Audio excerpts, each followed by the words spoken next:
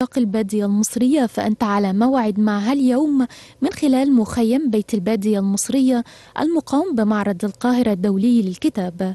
المخيم يسلط الضوء على التراث الثقافي لأهالي حلايب وشلاتين من خلال الندوات والأمسيات الثقافية. عندنا فعاليات ندوات ندوة عن التراث والثقافة الشعبية في البادية المصرية.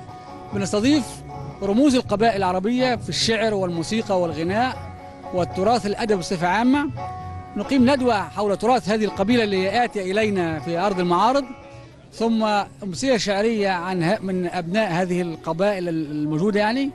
وفي الختام بيكون احتفالية غنائية بموسيقى البادية المجرونة والسمسمية وهكذا. المخيم أيضا يضم البرنامج التراثي والذي يتناول تراث البادية المصرية من خلال عرض مشغولات يدوية وأزياء تعكس حضارة أهالي حلايب وشلاتين. طبعا دي حاجات تراثي حاجات شغل يدوي آه بالخوص والجلد والخرز. حاجات يعني كله جلد طبيعي يعني. نحن سعداء جدا بمشاركتهم ومشاركة الجمهور في هذا المعرض بالنسبة لحلايب والشلاتين تعتبر أول مشاركة يعني لفتة بالنسبة من الوزيرة أنه الفرقة الفلكلور الشعبي بتاع حلايب والشلاتين يعني لأول مرة يشارك في هذا المعرض اللي هو معرض القراءة اللي هو تنظمها وزارة الثقافة للجماهير.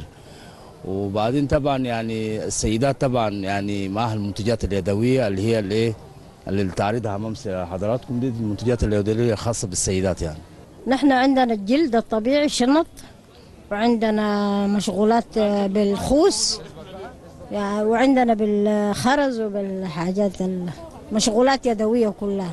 دي صراحة حاجة تشرفنا. تمام إحنا نكون متواجدين في معرض الكتاب نقدم التراث بتاعنا نعرف الناس التراث الموجود في حلايب وشلتين. على هامش الفعاليات التي يقدمها المخيم يستمتع زوار المخيم بالأغاني والرقصات التي يتميز بها أهالي حلايب وشلاتين.